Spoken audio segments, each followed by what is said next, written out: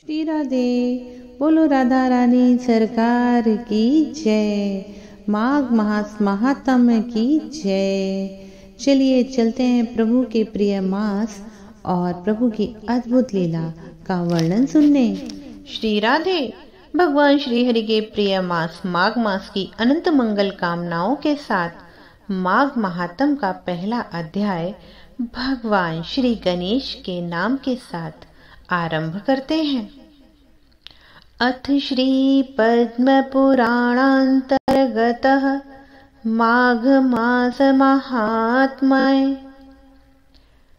नारायणं नमस्कृत्यं नरं चैव नरोत्तमं देवी सरस्वती चैव ततो जयमुदीरयेत्। अर्थात, सारे संसार के कर्ता भगवान श्री हरि विष्णु, माता लक्ष्मी, देवी सरस्वती और देव गुरु बृहस्पति जी के चरण कमलों में नमस्कार करके मैं इस माघ मास महात्म के वर्णन को आरंभ करती हूँ। एक समय की बात है कि श्री सूत जी ने अपने गुरु श्री वेदव्यास जी से कहा, हे गुरुदेव, कृपा करके आप मुझे माघ मास के महात्म का वर्णन करिए, क्योंकि मैं आपका शिष्य हूँ। व्यास जी कहने लगे, रघुवंश के राजा दिलीप, एक समय यज्ञ स्नान के पश्चात सुंदर वस्त्र आभूषण पहनकर शिकार की सामग्री से युक्त कवच से शोभायमान होकर अपने सिपाहियों के साथ जंगल में शिकार खेलने के लिए गए। जैसे ही वह अपने नगर से बाहर निकले, उनके सिपाही जंगल में शिकार के लिए मृग, व्याघ्र, सिंह आदि जंतुओं की तलाश में इधर उधर फिरने लगे। उस समय वन में वन स्थली अत्यंत शोभायमान प्रतीत हो रही थी। वन में वृक्षों पर पक्षी कलरव कर रहे थे, मोर नाच रहे थे, मृगों के झुंड इधर उधर फिर रहे थे और गीदड़ अपने भयंकर गर्जना मचा रहे थे।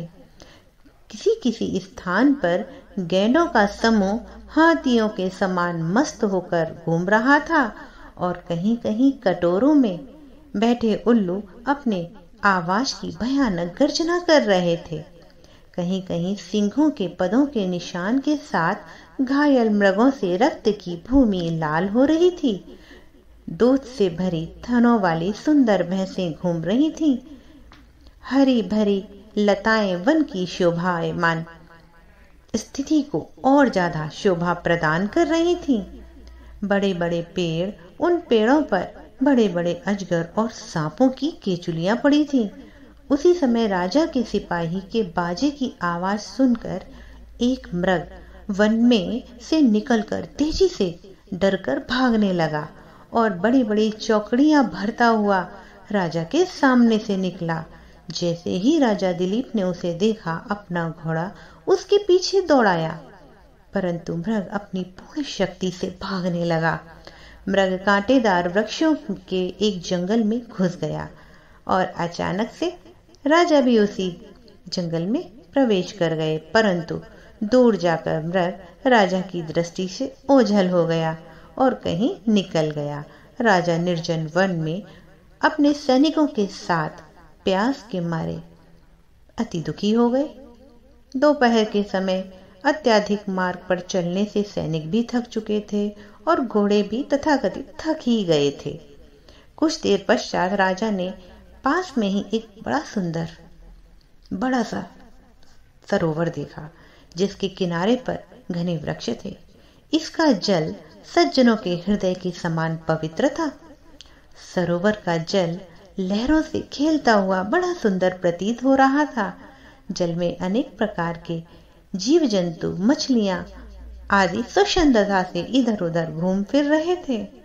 और वहीं दुष्टों के समान निर्दयी चित्त वाले मगरमच्छ भी पड़े हुए थे, जो किसी लोभी के समान घर में सिमाल की भांति पड़े हुए थे। जैसे कि विपत्ति में घिरे हुए लोगों के दुखों को हरने वाले दानी पुरुष के समान, यह सरोवर अपने जल से सभी को सुखी करता था।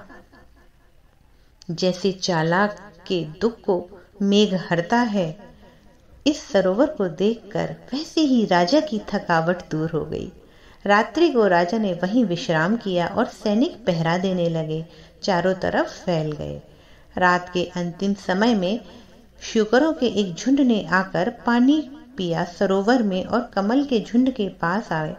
तब शिकारियों ने सावधान होकर शुकरों पर आक्रमण कर दिया और उनको मारकर पृथ्वी पर गिरा दिया। उस समय शिकारी कोलाहल करते हुए बड़ी प्रसन्नता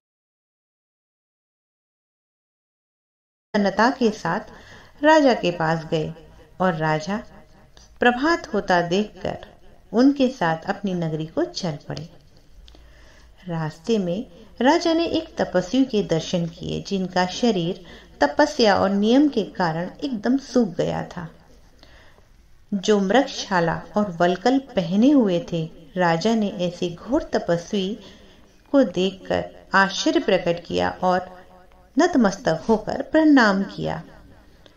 हाथ जोड़कर राजा खड़े हो गए। तब तपस्वी ने राजा को कहा, हे राजन, इस पुण्य शुभ माघ में इस सरोवर को छोड़कर तुम यहाँ से जाने की इच्छा करते हो? तब राजा कहने लगे, हे महात्मन मैं तो माघ मास के स्नान फल के विषय में कुछ भी नहीं जानता। कृपया आप विस्तार पूर्वक मुझे बताइए। इति पद्म पुराणानुसार प्रथम अध्याय समाप्त। मिलते हैं आप सभी से अगले द्वितीय अध्याय में। श्री राधे।